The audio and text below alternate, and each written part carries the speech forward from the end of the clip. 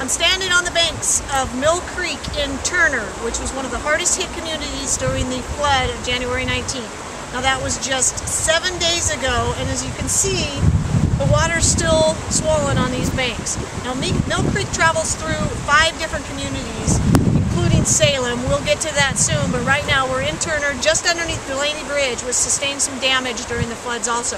But pretty much the entire town of Turner was evacuated.